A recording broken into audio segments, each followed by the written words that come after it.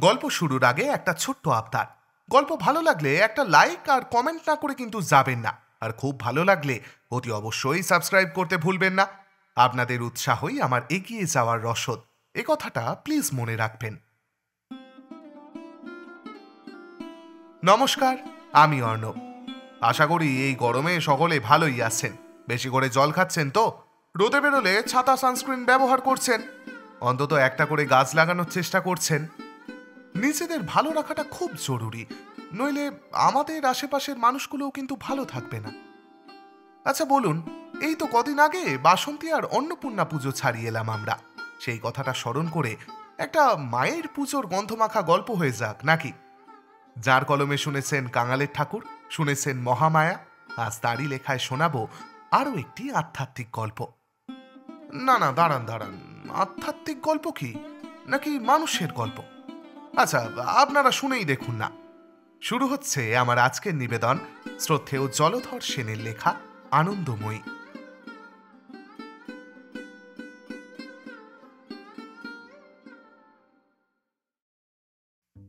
গ্রামের লোকে ঠিক নাম করিত না, বলিত ঠান্ডা মল্লিক। তার নাম করিলে সেদিন নাকি অতৃষ্টে অন্ন মিলিত না।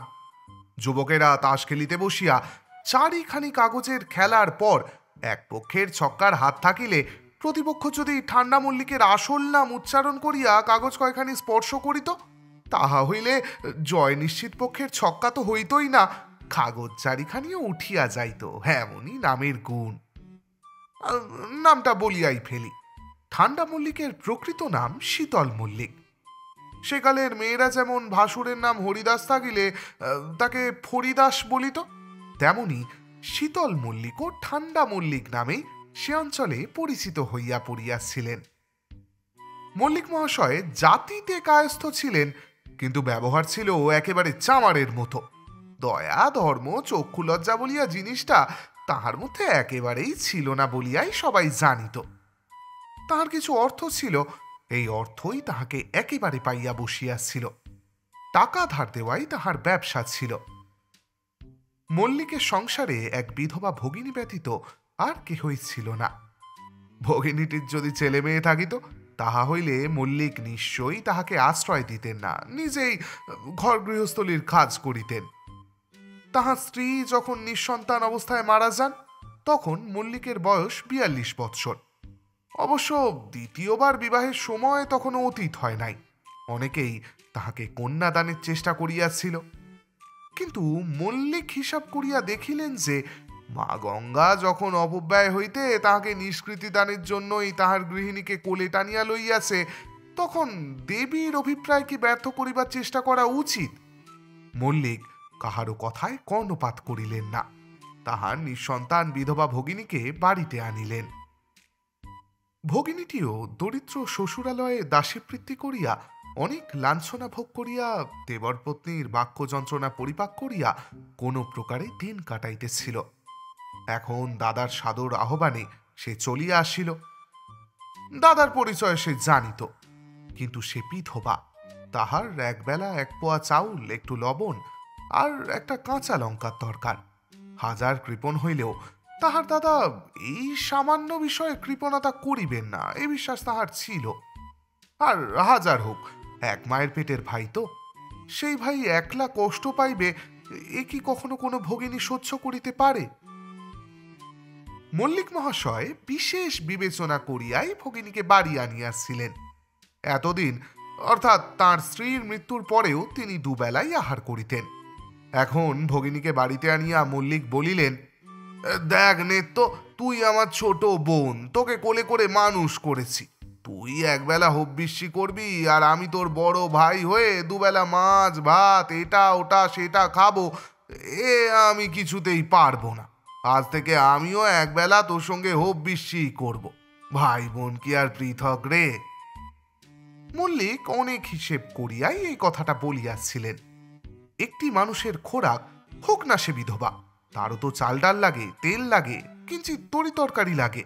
তা যেমন করিয়াই হোক একটি বিধবার একবেলার খোরাক জোগাইতে হলে এই আক্রান্ডার দিনে আড়াই টাকার কমে তো আর হয় না। মাসে আড়াই টাকা। তাহলে বৎসরে হইল বারো দুগুণে চব্বিশ আর আর ধরো বারো আধে ছয়, হলো কিনা ত্রিশ টাকা? একটা মানুষের জন্য বছরে তিরিশ টাকা। না, এত টাকা কোথায় পাবো? গিন্নির মৃত্যুর পর মাসে যা খরচ হচ্ছিল তার এক আধেলা বেশি ব্যয় তো করা যেতে পারে না। তবে আর গিন্নি গেল কেন? শেষে অনেক হিসাব করিয়া, অনেক জমা, খরচ থতাইয়া মল্লিক ভগিনী নেত্যর সঙ্গে একবেলা হব্বিষ্যি স্থির করিলেন। মাসান্তে হিসাব করিয়া দেখিলেন, এই বন্দোবস্তে তাহার এক টাকা সাড়ে তেরো আনা ব্যয় সংক্ষেপ হইয়াছে। তখন একটা স্বস্তির নিঃশ্বাস ফেলিয়া মল্লিক বলিলেন, হবে না, হাজার হোক, কায়েতের ছেলে হিসাবে কেউ ঠকাতে পারবে না। নেত্য অনেক প্রতিবাদ করিয়া, অনেক কাঁদাকাটি করিয়াও দাদাকে এই মহৎ সংকল্পচ্যুত করিতে পারিল না। দাদা রাত্রিতে কিছু আহার করেন না দেখিয়া, নিত্য একদিন আধ পোয়াটাক চাল ভাজিয়া, লবণ তৈল মাখিয়া দাদাকে খাইতে দিতে গিয়াছিল। দাদা চাউল ভাজা দেখিয়া একেবারে আতঙ্কে শিহরিয়া উঠিলেন। উচ্চ ঈশ্বরে বলিলেন, নেত্য, তুই কি শেষে আমাকে ফতুর করবি নাকি? আধ পোয়া চালের দাম কত জানিস? দাদা, এখনই করাক্রান্তি হিসাব আরম্ভ করিবে। বুঝিতে পারিয়া নিত্য বলিল, দাদা, মহাপ্রাণীকে এত কষ্ট দিতে নেই, কোতে লক্ষ্মী নারাজ হন? দাদা রাগ করিয়া বলিলেন, লক্ষ্মী লক্ষ্মী লক্ষ্মী রাজি বা হলেন কবে? যা যা, তোর সঙ্গে আর কথা কাটাকাটি করতে পারিনি। সাবধান, আর কখনো জিনিসপত্র এমন নষ্ট করিস নে জানিস আধ পো চালের দাম একটি পয়সা, তাহলে হলো গিয়ে না না, তোমাকে আর হিসেব করতে হবে না। আমি নাকে কানে খত দিচ্ছি, আর কখনো এমন কাজ করব না। এই বলিয়া নিত্য বাড়ির মধ্যে চলিয়া যাইতে উদ্যত হইল। দাদা তখন কোমল স্বরে নিত্যকে ডাকিয়া বলিলেন, দেখ নিত্য তোরই ভালোর জন্য বলি, আমি আর কদিন আছি। এখন যদি সব উড়িয়ে দিস, তাহলে আমি মরে গেলে কি করবি? তখন তোমার ওই চখের ধন, ওই লোহার সিন্ধুক আগলে বসে থাকব? কথা শ্রী দেখো না। নিত্য আর সেখানে দাঁড়াইল না। চাল ভাজার বাটিটা সেখানে ফেলে চলে গেল। এমন না হলে কি আর কপালে ওর এত দুঃখ হয়? এই বলিয়া তিনি যেন কি ভাবিতে লাগিলেন। একটু পরেই বলিলেন, যাক, কাল একাদশী। মনে করিয়াছিলাম এবার থেকে নির্জলা একাদশীই করব।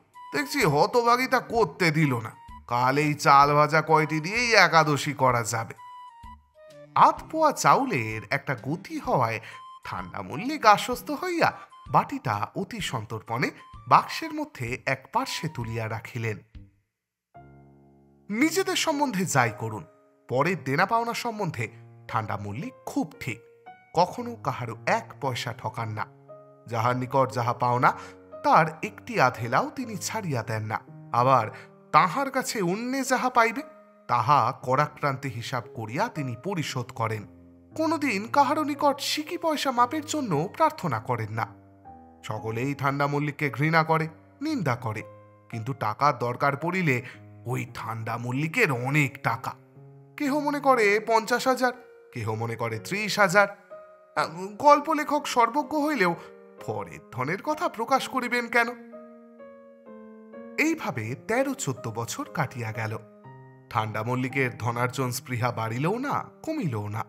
লোকের নিন্দা, ঘৃণা, উপেক্ষা সমস্তই অম্লান বদনে হজম করিয়া ঠান্ডা মল্লিক তাহার লোহার সিন্ধুক পূর্ণ করিতে লাগিলেন। বিগত বৎসর পুজোর সময় একটা বিষম গোলযোগে তাহাকে একেবারে উলট পালট করিয়া গেল। গ্রামের নিষ্কর্মা যুবকেরা অনেকদিন হইতেই মল্লিককে বিপন্ন করিবার জন্য নানা ফন্দি আটিয়া আসিতেছিল, কিন্তু মুরব্বীগণের ভয়ে তাহারা এতদিন কিছুই কার্যে পরিণত করিতে পারে নাই। পূজার সময় কর্তাদের অগোচরে অতি গোপনে তাহারা একটি কাজ করিয়া বসিল। ষষ্ঠীর দিন অতি প্রত্যুষে অন্যান্য দিনের মতো নিত্য যখন বাহিরের বৈঠকখানার ঘর ঝাঁট দিতে আসিল, তখন সে সবিস্ময়ে দেখিল, বৈঠকখানার বারান্দায় এখানি এখানি অনতি বৃহৎ দুর্গা প্রতিমা রহিয়াছে। এই অভূতপূর্ব ব্যাপার দেখিয়া সে একেবারে স্তম্ভিত হইয়া গেল। কি করিবে, কি বলিবে, কিছুই স্থির করিতে পারিল না। একটু প্রকৃতিস্থ হইয়া সে সেখান হইতে চিৎকার করিয়া বলিল, ও দাদা, শিগগির এসো, দেখে যাও, কে আমাদের সর্বনাশ করেছে গো? ঠান্ডা মল্লিকের তখন সবে নিদ্রাভঙ্গ হইয়াছে। উঠি উঠি করিয়াও এপাশ ওপাশ করিতেছিলেন। এমন সময় ভগিনীর চিৎকার শুনিয়া তিনি তাড়াতাড়ি শয্যা ত্যাগ করিয়া বাহিরের দিকে দৌড়াইয়া আসিলেন। দাদাকে দেখিয়াই নেত্য বলিয়া উঠিল, এই দেখো, পোড়া কপালির বেটারা আমাদের বারান্দায় মা দুর্গার প্রতিমা রেখে গিয়েছে। বলিস কি নেত্য? বলিয়া তিনি বারান্দার নিকট আসিয়া দেখিলেন, সত্য সত্য সত্যই একটা দুর্গা প্রতিমা বৈঠকখানার বারান্দায় রহিয়াছে। তখন তাহার ক্রোধাগ্নি প্রজ্বলিত হইল, যাহা মুখে আসিল তাহাই বলিয়া, গ্রামের পাজি, বজ্জাত, বদমাইশ লোকদিগের ওপর অজস্র ধারে ব্যাকরণ বহির্ভূত ভাষায় গালাগালি করিতে লাগিলেন। তাহার চিৎকার শুনিয়া প্রতিবেশী স্ত্রী পুরুষ বালক বালিকায় বাহিরের অঙ্গন পরিপূর্ণ হইয়া গেল। বৃদ্ধ বৃদ্ধারা বলিতে লাগিলেন তাই তো এ ভারী অন্যায় ব্যাপার। এমন কাজ কে করলে? ভদ্রলোককে এমন বিপদে ফেলা কিছুতেই উচিত নয়। যুবকেরা বড় কেউ আসে নাই। যে দু একজন আসিয়াছিল তাহারাও অতি গম্ভীরভাবে বলিল, এ কি অন্যায়? এমন ব্যাপার তো এই গ্রামে কখনো দেখি নাই।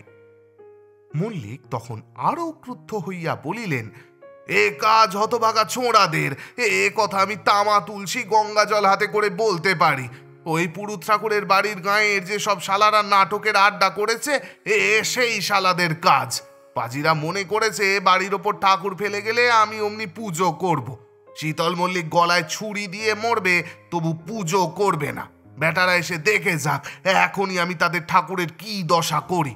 নিয়ে আয় তো আমার লাঠিখানা নিয়ে আয় প্রতিবেশী বৃদ্ধ গদাধর লাহিরি এই সময় আসিয়া উপস্থিত হইলেন। তাহাকে দেখিয়াই মল্লিক তাহার দিকে অগ্রসর হইয়া বলিলেন, এই তো দেখো না গদা কাকা, কি অত্যাচার, তুমি এর বিচার করো। লাহিরি মহাশয় অতি ধীর স্বরে বলিলেন তাই তো কাজটা অত্যন্তই গর্হিত হয়েছে। এরকম অত্যাচার এই গ্রামে তো এর পূর্বে কখনো দেখি নাই। মল্লিক বলিয়া উঠিলেন, আপনারাই তো চোরাদের আসপদ্দা দিয়ে মাথায় তুলে দিয়েছেন, এ তাদেরই কাজ। হয় আপনারা এখনই প্রতিমা সরিয়ে নিয়ে যান, তা না হলে আমি রাস্তায় শীতল, রাগে জ্ঞান হারা হয়েও না। যারা এ কাজ করেছে, গ্রামের দশজনকে ডেকে তার অনুসন্ধান করে তাদের শাস্তি দিতে হবে। তার জন্য তুমি ভেবো না। কিন্তু আজ ষষ্ঠী, যে করেই হোক, আজ তোমার বাড়িতে যখন মায়ের আগমন হয়েছে, তখন হিঁদু হয়ে আর কায়েস্তের ছেলে হয়ে তুমি বাবু মাকে রাস্তায় টেনে ফেলতে পারছ না। তাতে তোমার অধর্ম গ্রামেরও অপযশ। আমরা দশজন থাকতে এমন অধর্মের কাজটা কেমন করে হতে দিই? তুমি ভেবে বলো আমাকে। তাহলে আপনি কি করতে বলেন? আমি বলি, যে করেই হোক, কোনো রকমে মায়ের পূজাটা তোমাকে করতেই হবে। আপনি তো করতে বলেই খালাস। পুজো করা কি ছেলে খেলা? বলতে গেলে বৃষোৎসর্গের ব্যাপার। আমার সাধ্যি কি এ তাহলে আমি সামলাই? সে আমি কিছুতেই পারব না। আমি গরিব মানুষ, কোনো রকমে ক্যাকলেসে বেঁচে আছি। আমি কি করে পুজো করব? আপনার ইচ্ছে হয় আপনার বাড়িতে প্রতিমাখানা নিয়ে যান, পূজা করুন গে। বৃদ্ধ লাহিড়ী মহাশয় হাসিয়া বলিলেন, শীতল, মায়ের কাছে সেই প্রার্থনাই করো, আমার যেন মায়ের পুজো করবার মতো অবস্থা হয়। তখন তোমরা না বললেও আমি মাকে বাড়িতে আনব। কিন্তু তুমি তো জানো আমার কি অবস্থা। আমি বলি কি, মহেশকে ডেকে আনি। সেই তোমার পুরোহিত। যাতে কোনো রকম ব্যয়বাহুল্য না করে মায়ের পুজোটা হয়ে যায়, তারই মতো ব্যবস্থা করে দিই। এই ধরো একশো টাকা হলেই তিন দিনের পুজো অমনি নম নম করে সেরে দেওয়া যেতে পারে। একশো টাকা? আপনি বলেন কি গদা কাকা? আমার কি একশো টাকা খরচ করবার মতো অবস্থা? আমি সোজা কথা বলছি, আমি এক পয়সাও খরচ করতে পারব না। তাহলে যা ভালো বোঝো তাই করো, বাপু। আমরা তোমার হিতৈষী। এক্ষেত্রে যা সৎ পরামর্শ তাই তোমায় দিলাম। এই বলিয়া লাহিড়ী মহাশয় ধীরে ধীরে চলিয়া গেলেন। মল্লিক এতক্ষণ উঠানে দাঁড়াইয়া কথা বলিতেছিলেন। এখন বারান্দায় উঠিয়া প্রতিমার সম্মুখে চাপিয়া বসিলেন। তখন নিত্য বলিল, বসে বসে ভাবলে কি হবে দাদা? যা হয় একটা কিছু ঠিক করে ফেলো। ষষ্ঠীর দিন মা যখন বাড়ির ওপর এসেছেন, তখন বিদায় করবে কি করে? বিদায় করব না তো কি ঢাক ঢোল বাজিয়ে পুজো করতে হবে? সে আমার দ্বারা হচ্ছে না। থাক, ঠাকুর যেমন আছে তেমনই থাক। আমি পুজোও করছি নে, ফেলেও দিচ্ছি নে। একশো টাকা গাছের ফল আর কি কুড়িয়ে আনলেই হলো। সব বেটারাই ভাবে আমার না জানি কত টাকা। যাকে আমি আর বকতে পারি নে। এই বলিয়া মল্লিক বাড়ির মধ্যে চলিয়া গেলেন। একটু পরেই পুরোহিত মহেশ ভট্টাচার্য আসিয়া উপস্থিত হইলেন। তিনি বাড়ির মধ্যে যাইয়া দেখেন মল্লিক মাথায় হাত দিয়া বসিয়া আছেন। ভট্টাচার্য মহাশয় তাহার নিকটস্থ হইয়া বলিলেন, ও মল্লিক দা বসে ভাবলে কি হবে? একটা ব্যবস্থা তো করতে হবে নাকি? যাও এ, যাও, তোমায় আর মুরব্বিগিরি করতে হবে না। পুজো করতে হয় আমি করব, তোমাকে কিছু করতে হবে না, তুমি নিজের পথ দেখো।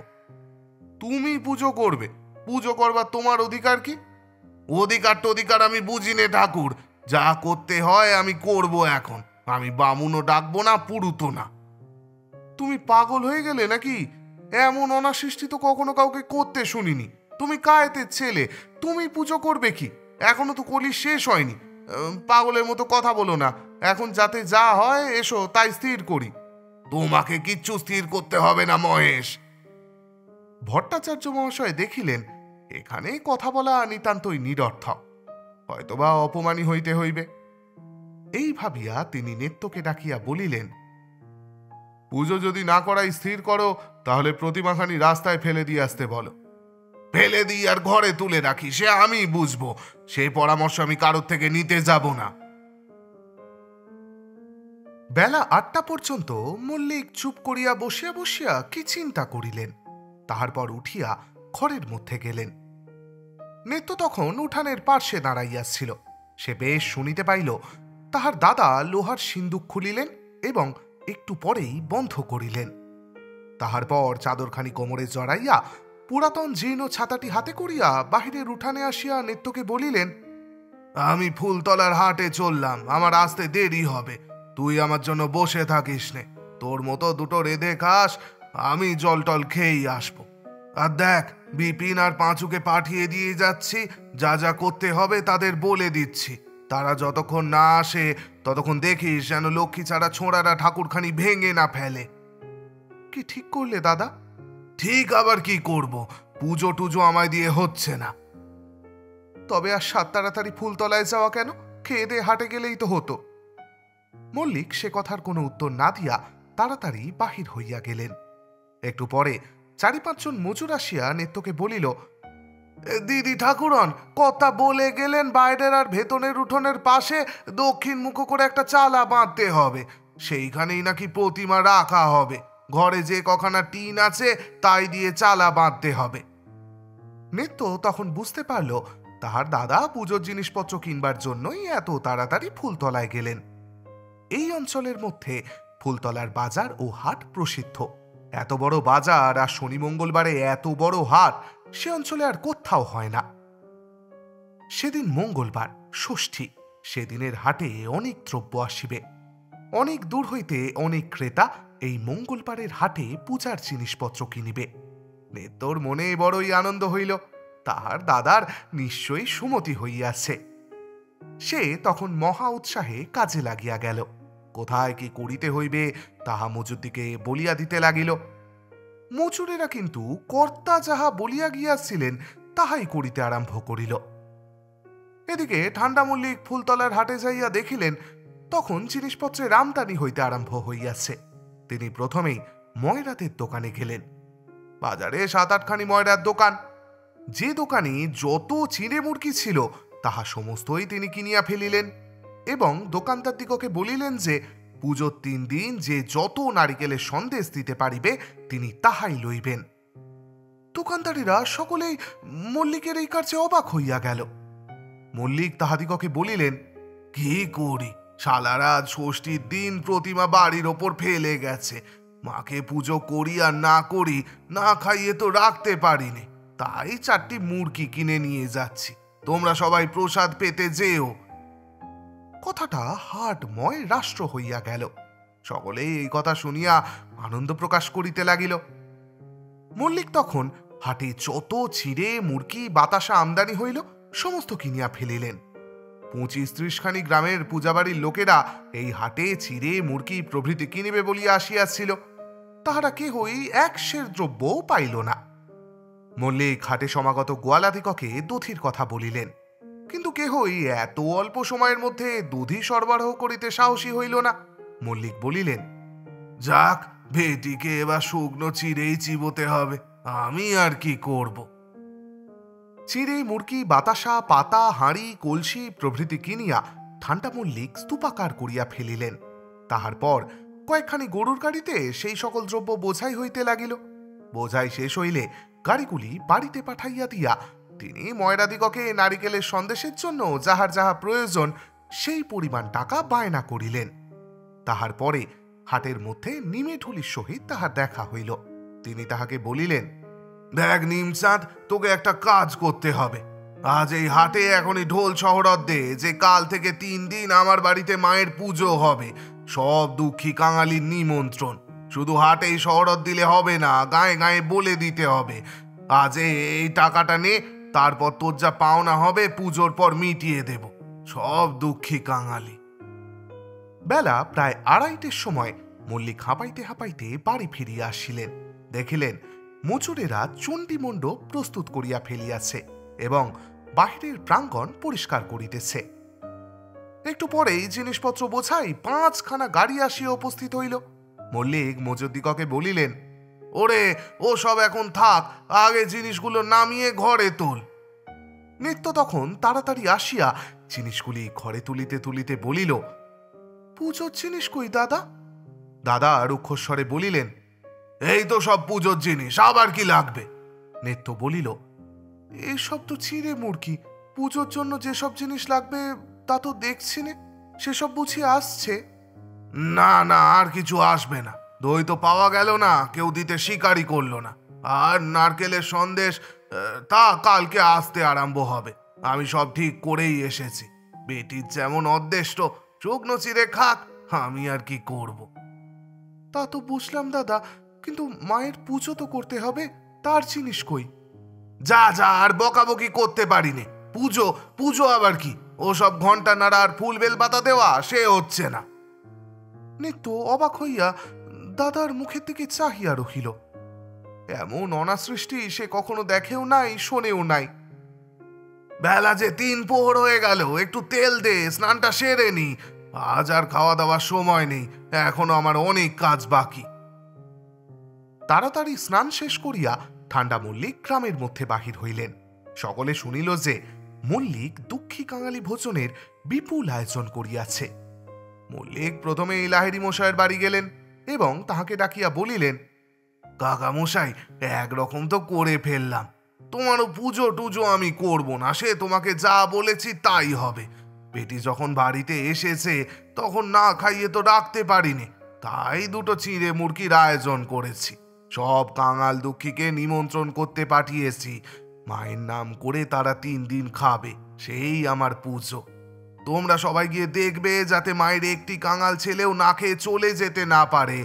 তাই তোমাকে দেখতে হবে, কাকা। লাহিড়ি মশাই বলিলেন, সে বেশ করেছ শীতল, কিন্তু শাস্ত্রানুসারে পূজা অর্চনাও তো করা চাই, নইলে যে মহা অপরাধ হবে। মায়ের কাঙাল ছেলেমেয়েরা পেট ভরে খাবে, এতে যদি মায়ের পুজো না হয়, এতে যদি মা খুশি না হন, তাহলে অমন মায়ের পুজো আমি করিনি। লাহিড়ি মহাশয় আর কথা বলিলেন না। মল্লিক গ্রামের প্রত্যেকের বাড়িতে যাইয়া সকলে সাহায্য প্রার্থনা করিলেন। যথারীতি পুজো হইবে না শুনিয়া যদিও সকলেই আপত্তি করিলেন, কিন্তু মল্লিকের দৃঢ় সংকল্প দেখিয়া সকলেই কাঙালি ভোজনে সাহায্য করিতে সম্মত হইলেন। সেদিন সন্ধ্যার সময় গ্রামের মুরব্বীরা মল্লিকের বাড়িতে আসিয়া মিলিত হইলেন। তাহারা পূজার ব্যবস্থা করিবার জন্য মল্লিককে অনুরোধ করিতে লাগিলেন। কিন্তু তাহার সেই এক কথা। আমি যা ব্যবস্থা করেছি, তাতে যদি মায়ের পুজো না হয়, না হবে। ইতিপূর্বে কয়েকজন লোকের সাহায্যে প্রতিমাকে নবনির্মিত মণ্ডপে আনিয়া রাখা হইয়াছিল। পূজার আসন দেওয়া হয় নাই, ডাকের শ্বাস দিয়া প্রতিমাকে সাজানো হয় নাই, এমনকি নবনির্মিত মণ্ডপে গোবর ছড়া পর্যন্ত দেওয়া হয় নাই। মণ্ডপের মধ্যে প্রতিমার সম্মুখে একটি মৃৎ প্রদীপ মিটমিট করিয়া জ্বলিতেছিল। তাহাতে অন্ধকার দূর না হইয়া আরও যেন বেশি অন্ধকার বোধ হইতেছিল। সকলেই মল্লিকের এই অদ্ভুত ব্যবস্থার কথা লইয়া আলোচনা আন্দোলন করিতেছিল। এমন সময় একজন অপরিচিত ভিখারি আসিয়া মায়ের মণ্ডপের সম্মুখে দাঁড়াইয়া একতারা বাঁচাইয়া কান ধরিল। শক্তি পূজা কথার কথা না, যদি কথার কথা হতো, চিরদিন ভারত শক্তি পূজে শক্তিহীন হতো না। কেবল ডাকের গয়নায়, ঢাকের বাজনায় ও শক্তি পুজো হয় না।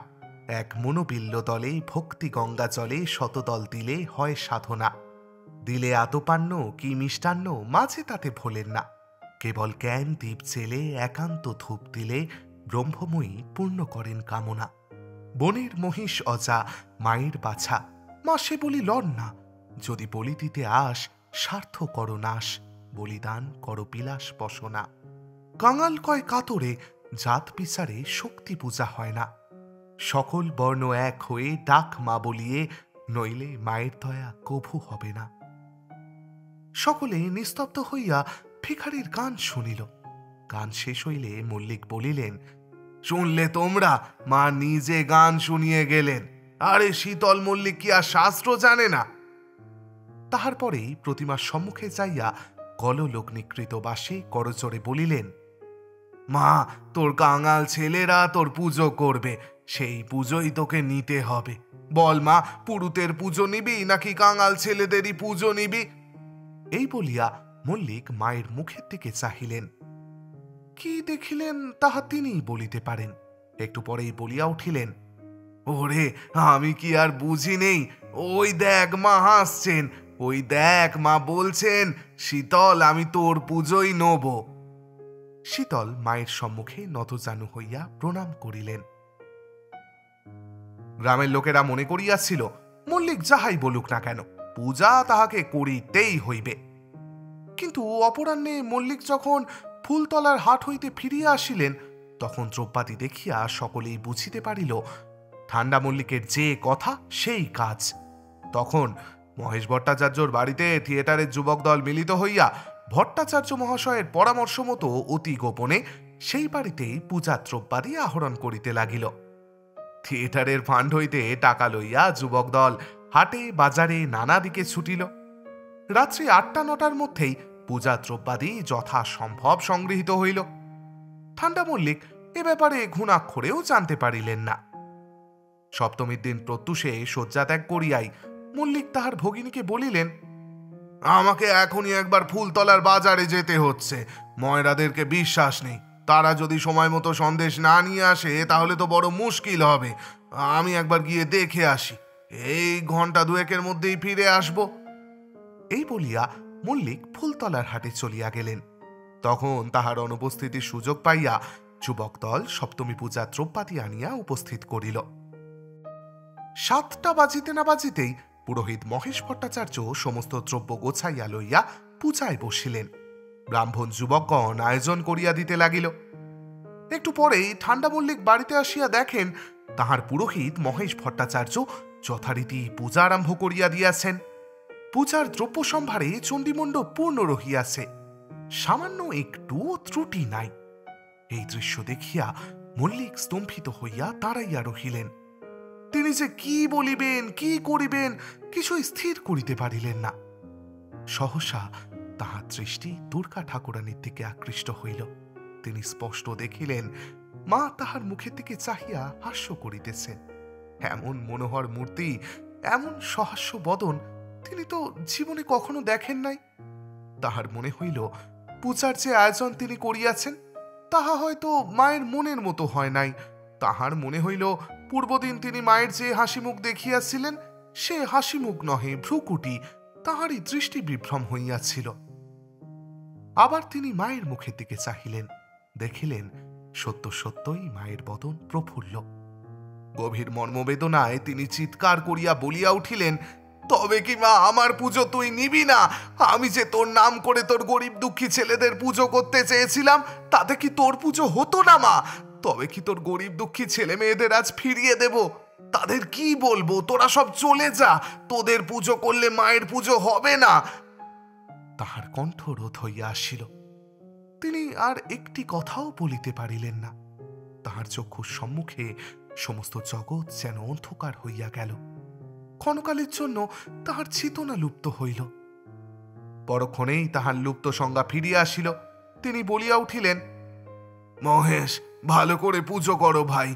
মা বলেছেন, তোমার পুজোও নেবেন, আমার পুজোও নেবেন। এই যে মা বলে গেলেন, ওরে, সবাই আমার ছেলে। যে যেভাবে আমায় পুজো করে, প্রাণ দিয়ে করলে আমি তাই গ্রহণ করি। মা দুর্গে, আমার কি শক্তি যে তোর পুজো করি মা? আমি তো তোকে একদিনও ডাকিনি, আমি তো তোকে একদিনও চাইনি। আমি চেয়েছি টাকা, তা তুই আমাকে ঢের দিয়েছিস। এখন তোর জিনিস তুই বুঝে নে। তোর টাকা, তোর পুজোয় তুই লাগা। আমাকে এবার ছুটি দে। এই বলিয়া শীতল মল্লিক পালকের মতো কাঁদিয়া উঠিলেন। ভক্তের অস্ত্রবিন্দুতে মহামায়ার মহাপূজা সুসম্পন্ন হইয়া গেল। তারপর তিন দিন ধরিয়া মল্লিকের অঙ্কনে শত শত দিন দরিদ্র অনাথ অনাথা মায়ের প্রসাদ পাইয়া কৃতার্থ হইয়া গেল। শীতল মল্লিক চারিদিকে দৌড়াইয়া বেড়ান, আর একবার একবার চণ্ডীমণ্ডপের সম্মুখে দাঁড়াইয়া করজোরে বলেন, জয় মা আনন্দময়ী।